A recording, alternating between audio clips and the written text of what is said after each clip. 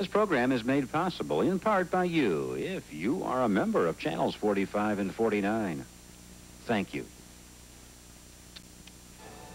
Next on Nova, 1981, anti-abortion activist C. Everett Koop becomes Surgeon General, and conservatives cheer, but not for long.